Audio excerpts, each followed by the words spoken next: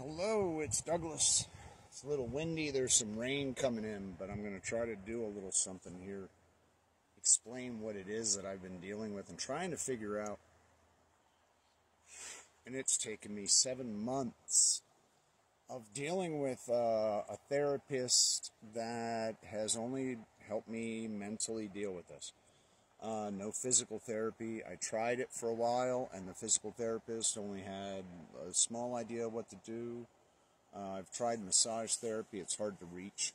Uh, the closest uh, therapist that the VA will pay for is in Durango, so it's, uh, you know, it's, it's a drive for me, and uh, gas money being what it is. But so, what I am going what I have been dealing with is my body has been twisted. I've been so many places that have been collapsing. And I went to doctors and I was saying, hey, my arm feels like it's like not connected and it feels like it's, you know, and all these things that I tried to explain to doctors and they're like, well, that doesn't make sense. I'll send you to physical therapy. And then they don't have any idea because the doctors haven't told them what to really look for. All they say is physical pain from fibromyalgia, which is not what I have. So, what I've been trying to figure out is how my body has been twisted. And because at like five years old, a head injury and many things since, putting um, myself into a fight or flight mode, at a very young age, and I lived my life that entire my entire life that way. You get into a mm, kind of thing, and I didn't realize until about a week ago that one of the biggest things that was an obstacle for me was me fighting to stand up.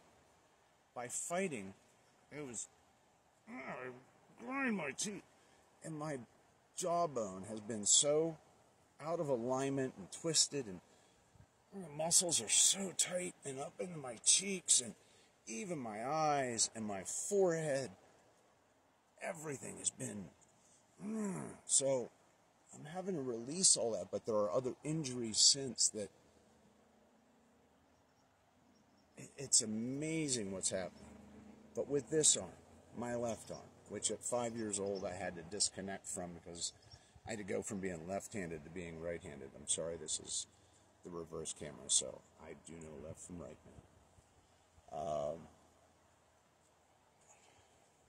where my elbow joint grabs, where the muscles feel like the end is, but they're not. And now I'm starting to feel all of that. I'm having to open everything up. 15 minutes ago, it felt like my I couldn't tell if it was my heart, my ribs, my muscles on my ribs, my chest muscles, the muscles coming in and out from the arm. But it's like I'm ripping my arm loose and twisting it around finally because this is all starting to relax. So I'm becoming more centered. I'm feeling both limbs, my legs, the things of my feet, the new thing that I call them is unspasms.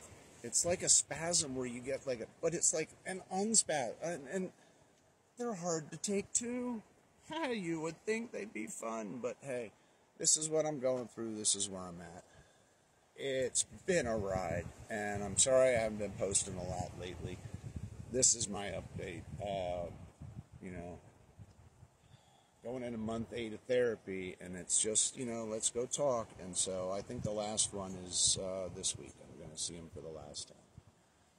And so far as doctors, we'll see what the doctor's going to look at. I see one on the same day as well. So, till the next time, keep buggering on because someday you might find the answers that you need. And if this helps anybody understand polyvagal and having to calm and mm, not be turned into a fighter at all times. So, peace and love. KBO.